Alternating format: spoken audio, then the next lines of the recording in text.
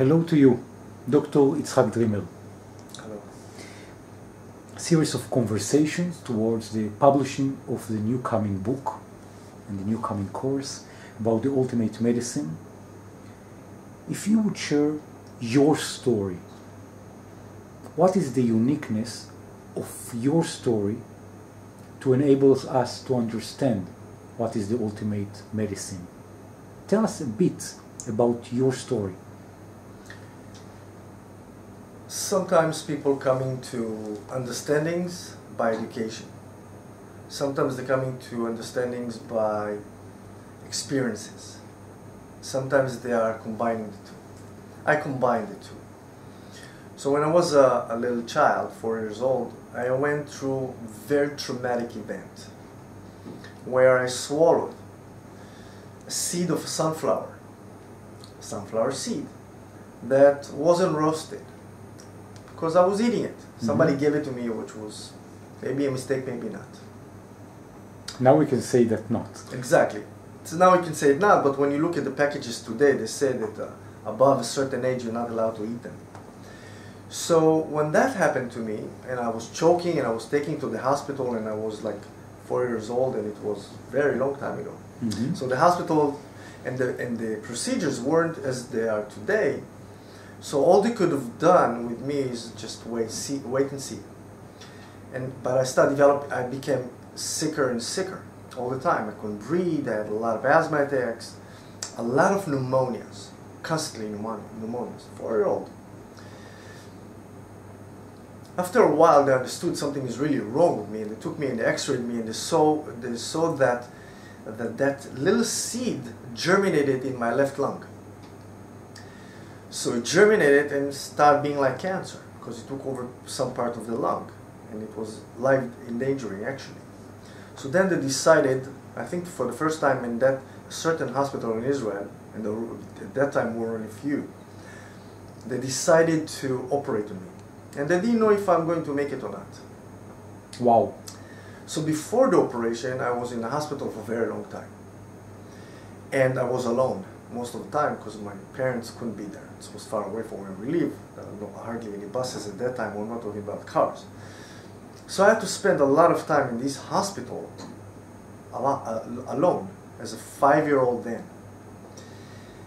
And until the operation, and then after the operation, which I survived somehow, um, I had to spend uh, more time after that for a lot of examinations. So I stayed in the hospital for a long time on my own again. What would be the most profound memory from those those days? The, the surgery, the operation, being alone. I what I did I I create I made that hospital my home. The nurses and the doctors were like, like my family there. The patient I knew the patients. And when I was going to the surgery, a few people walked with me. I remember that as a child. And they say you're going to have some tonsillitis in that time, which of course wasn't. And I remember how they took me to. It was external. Uh, you were walking in the streets of the hospital. It wasn't one one section. And when I woke up, I was hooked to all these machines. And I didn't understand what's happening.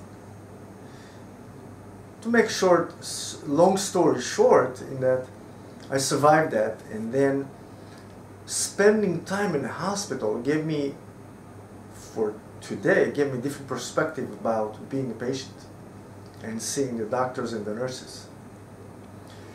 So all my life actually I was directed to this type of understandings or I was attracted to the notion of medicine. And in the end I went to study that type of craft or profession to become a, a doctor of a type of in health providing. So that's actually the base for me to become one.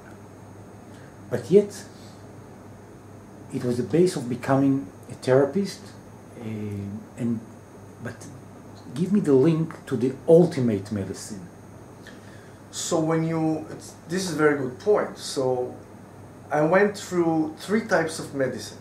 I went through veterinary medicine, and I realized loving the animals that's not going to do it. I went to conventional medicine, And after four years, I understood that, that the concept is not enough. So, so I went to chiropractic medicine. And the concept was the closest ones, closest one to more, let's put it this way, holistic view of medicine and human beings. Mhm. Even then wasn't enough for me. And then I decided that if you don't see the psychology, the psyche of the patient, Mhm. if you don't see what he's eating at home at work, what what is his habits with chemistry, with biochemistry, food, drinks, if you don't see his, if you don't understand his spine, which is very important portion of our health because that's a, the communication between our brain and our body goes through the spinal cord, through the spinal column. If you have interference there, you're going to pass information wrongly going down and going back. So it's a must by understanding what it is. If you don't understand energy, from the quantum mechanics of understanding the, the, the hidden information of us being part of the quantum field, you cannot become uh, all-rounded doctor. You can become a treater in one of these things that I just said, either Mhm. psychologist, psychiatrist, or chiropractor, or medical doctor alone, or energy worker, or biochemist is not enough.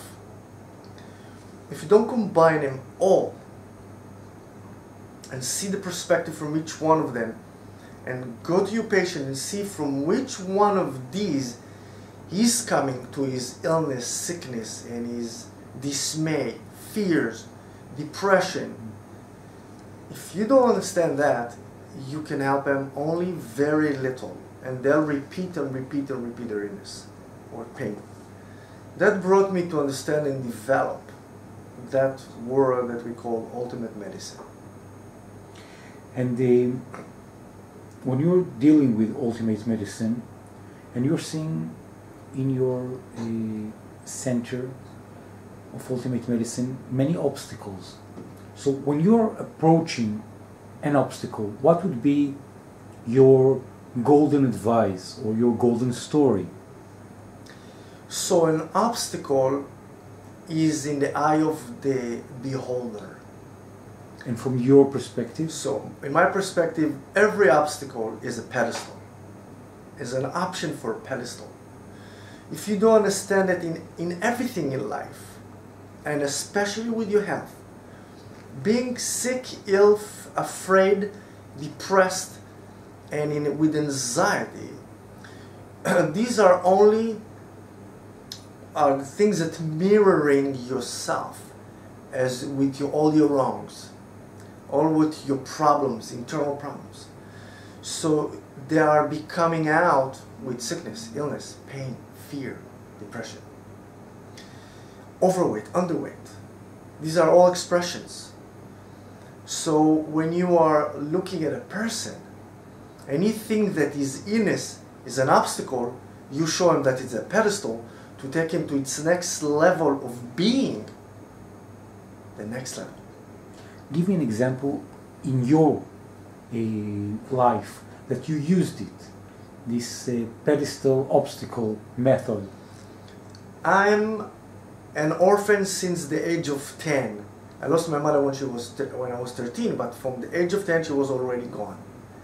So I and I was the eldest one in my family. I have four, five, uh, four siblings.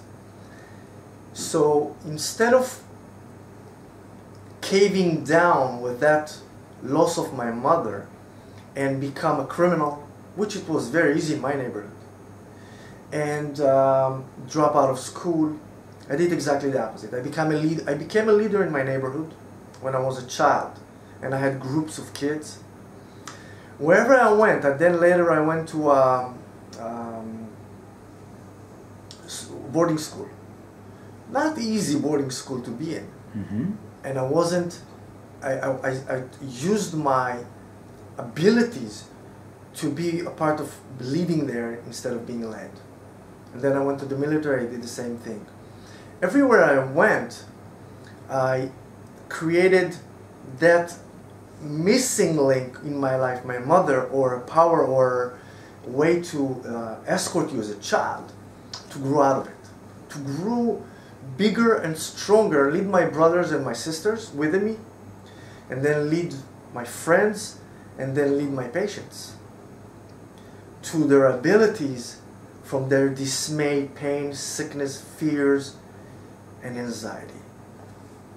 People that are seeing this episode want to be part of the community of the readers of the book or come to the uh, Dreamers Ultimate Medicine Center, just leave the details, click, and send their cell phones, emails, and be part of the community of Dr. Dreamer. Sure. Thank you very much. Thank you.